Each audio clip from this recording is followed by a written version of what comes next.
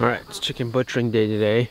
Still have lots to do this morning before we get started. We need to clean out the coolers, the tables, and I still need to get ice.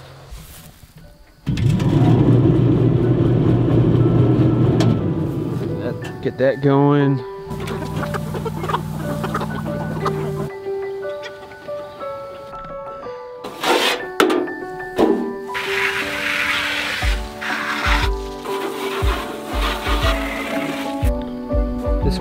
Need to start this water. This usually takes about 45 minutes to get hot. So this, we gotta get this going first thing.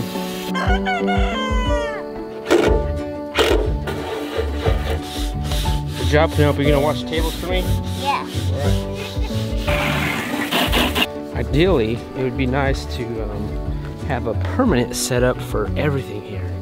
I mean, you know, we do this at least twice a year, uh, even if we did it once a year. Having a permanent setup for everything uh, would just help out a ton. It'll prevent me from having to set up and also take down.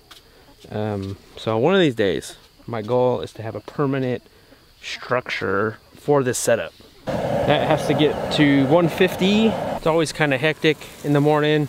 Just kind of getting everything situated because nobody likes chicken butchering day. So to be as comfortable as possible with the shade fan uh, and get and have the right equipment to do it all, like this plucker, is a key to a successful day. Oh, you're making breakfast? Well, I'm making breakfast and I'm making lunch for later today. on chicken processing day, uh, I'm usually setting up in the morning. Penelope's helping out, and Lorraine is cooking food for everyone that's coming. All right, now we need to fill these up with ice and water. So from there, we'll grab the chickens and put them here, upside down. Yep. So their um, their backs up is up against this, and then from here, That's scalder. the scalder, Yeah. which is just a turkey fryer, really, needs to be at 150. Okay. And then I drop a little bit of soap in here, and that's to loosen up the feathers.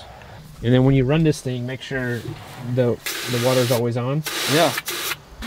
Then they go on the table, and this is where we do all the eviscerating. Okay, necks, feet, heart, liver. Okay. That's what we say. Okay. Those go in Ziploc bags.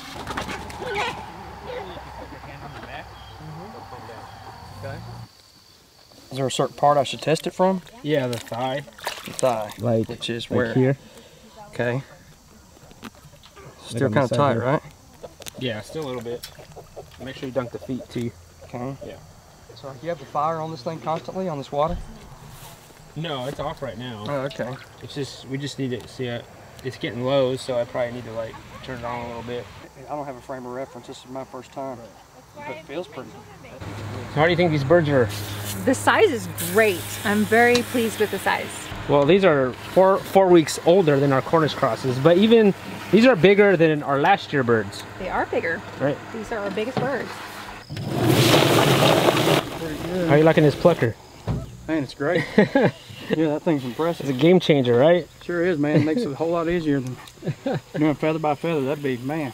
I I've done to- feather by feather. Have you really? We did three birds in, I think it took us like four hours. Really? oh my goodness. That's not the best definition of efficiency. No. This is a bag where we save all of their, all of the feet. And after we're done processing all of the chickens, we, we will wash everything really well and then put them in a food saver bag and shrink wrap them and put them away in our freezer to make bone broth. This is a bag for the hearts and the liver. So the liver's attached to the heart. And then there was a bile sac attached to this, so you cut that out because it could ruin your meat. what about these? You can kill. These are gizzards. And this is basically the stomach of the chicken. It is a muscle, so you can actually see the muscle. And when you process this, you cut it in half. And what's amazing about this chicken muscle or stomach is that it has all of these little pebbles, grass. There's a lot of rocks in here because it compresses. The stomach basically pushes all the food through and then you take it out, you dump it out. And then there's like this really tough skin, which is pretty yellow. It's from the bile probably or stomach acids and you peel this. But this meat right here is like steak. And these are the necks. We're gonna save them also for bone broth. And we're getting close to the end here. Three, four, five, six. We have three Freedom Rangers and three Cornish Crosses left. Justin gave us a couple of his roosters. Uh, we don't have a rooster, so I'm thinking about maybe keeping one.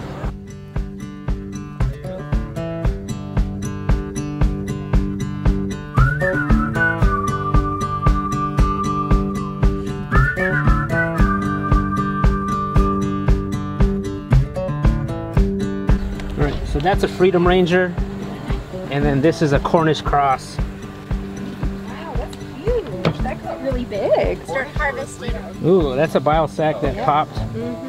So there's no pressure on. You don't want that to happen, but if it does, you just rinse it off.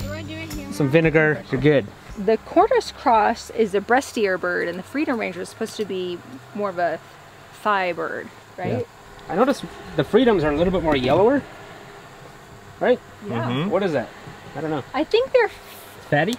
fattier, but like it's a good fat because I noticed that this one hasn't been cut open, but like they have a lot more of this fat that you can cook with it, and it's really good for cooking. It's very nutritious. So this is your first time, Joe.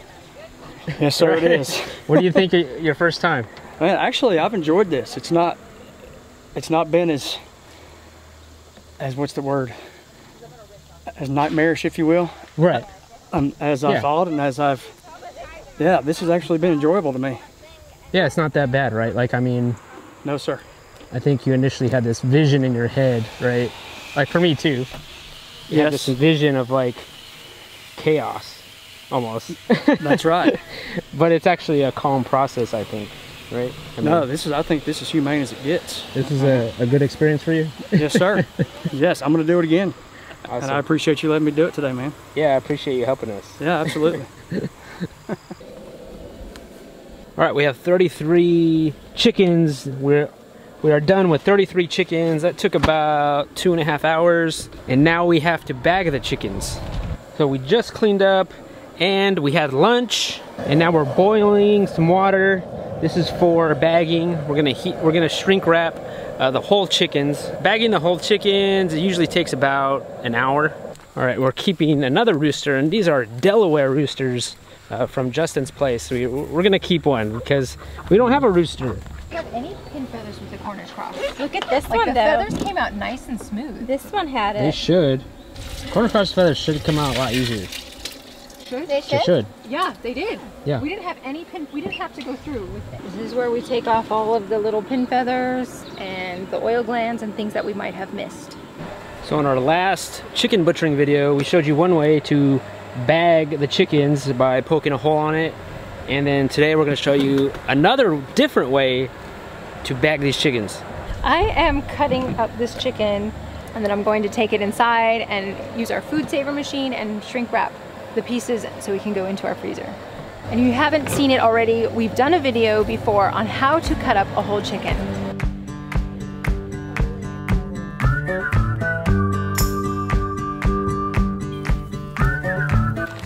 Straw method. You take a straw, you stick it in about halfway into the chicken, and then you give it a twist, and you put a zip tie on it. You dunk it, then you take the straw out, tie it tighter, and that's it. Do the straw in place of poking a hole in it, and then it shrink wraps the whole chicken. All right, so I think the key to a good butchering day is to get a good group going, right? Yes. And so we have we've always had this family, Mike. Oh, hi. How are you? So we've had family help us, and we just get together and butcher day. We help them butcher their chickens. They help us butcher our chickens. Uh, we even go in halves. They buy 30 chickens, we buy 30 chickens, and we'll split the cost of feed. and that's the key. So after three years, I think we're old pros now. You think? Oh yeah, we got this. Sophia, she's the key. old pros.